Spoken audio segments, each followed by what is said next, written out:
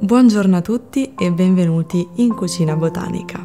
Oggi prepareremo uno dei piatti che personalmente preferisco, che è un comfort food pazzesco, oltre che un piatto veramente nutriente e saziante.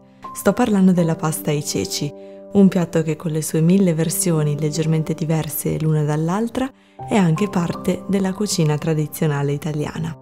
Senza dubbio cominciamo dai ceci. Per 4 porzioni dobbiamo metterne in ammollo circa 250 grammi. Dopo 8-12 ore di ammollo si saranno gonfiati parecchio, all'incirca così.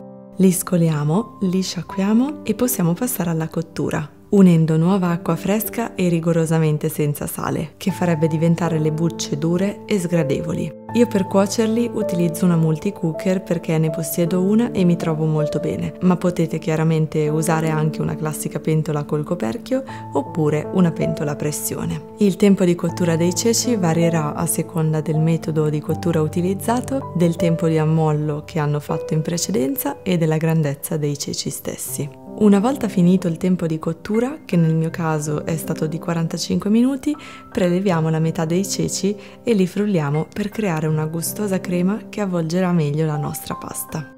Intanto in una pentola versiamo olio, uno scalogno tritato, un rametto di rosmarino, anch'esso tritato bene al coltello, e due o tre pomodori pelati. Facciamo insaporire il tutto e poi aggiungiamo i ceci che abbiamo cotto con la loro acqua di cottura, facendoli insaporire a loro volta.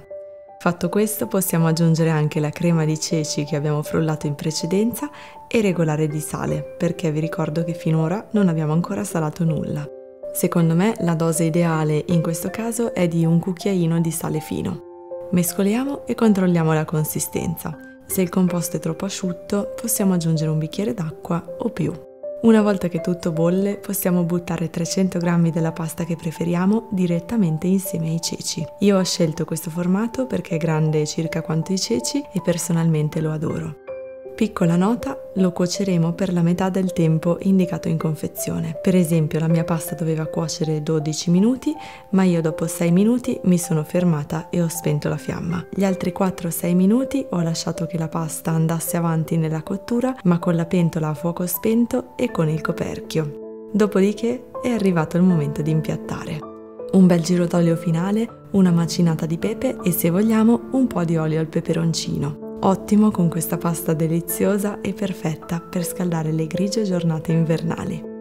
Se questo video vi è piaciuto potete lasciare un like o un commento per farmi sapere cosa ne pensate e se non volete perdervi i prossimi video potete iscrivervi al canale cliccando sul pulsante iscriviti qui sotto. Io spero che rifarete questa ricetta e vi aspetto qui sul canale di Cucina Botanica nel prossimo video.